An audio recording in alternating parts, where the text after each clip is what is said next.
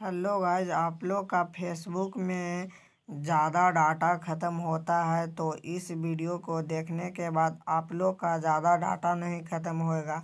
आप लोग बस फेसबुक में दो से तीन सेटिंग करने के बाद आप लोग का डाटा नहीं ख़त्म होगा। सबसे पहले फेसबुक को ओपन करने के बाद लोडिंग ले रहा, लोडिंग लेने के बाद आप लोग देख सकते हैं, तीन डॉट पर क्लिक कर दीजिए। क्लिक करने के बाद थोड़ा सा नीचे स्क्रॉल करने के बाद यहाँ सेटिंग एंड प्रीवीसी पर टैप कीजिए। सेटिंग एंड प्रीवीसी पर टैप करने के बाद यहाँ से सेटिंग का ऑप्शन पर टैप करने के बाद देख सकते हैं आप लोग मीडिया का ऑप्शन थोड़ा सुखा नीचे यहाँ यहाँ पर मीडिया का ऑप्शन है। आप लोगों में मीडिया का ऑप्शन नहीं दिया है तो यहाँ से मीडिया सर्च कर लीजिए।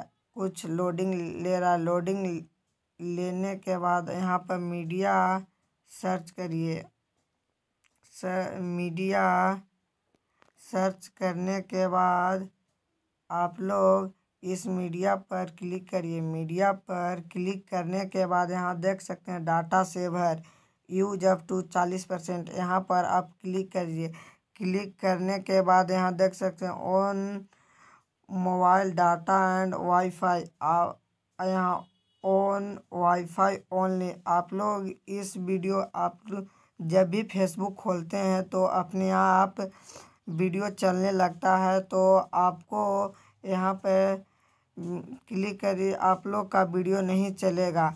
आप लोग बैक आकर देख सकते हैं और रिफ्रेक, रिफ्रेश कर दीजिएगा। आप लोग का ये वीडियो अच्छा लगा तो like and subscribe and share ज़रूर करिए।